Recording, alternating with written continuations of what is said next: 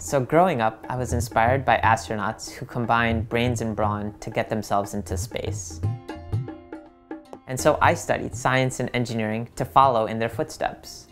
I didn't make it to space, but I landed up in rural India with a very different type of hero, the Indian smallholder farmer, who similarly combined science, hard work, and business acumen to produce one of the highest farm outputs in the world.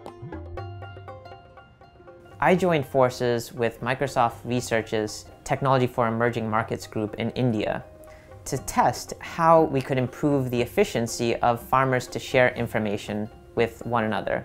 And that laid the foundation for what would become the first nonprofit spin-off of Microsoft called Digital Green. At Digital Green, we're grateful for the opportunity to stand with rural communities as they envision a better life for themselves and for their families. And we realize that we have to take risks to be able to meet the urgency of these communities that are in need.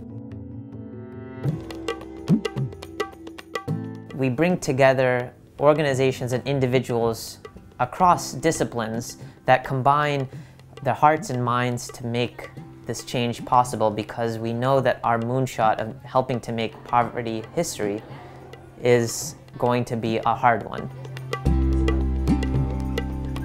And we hope that the culture that we create as an organization will be our lasting legacy.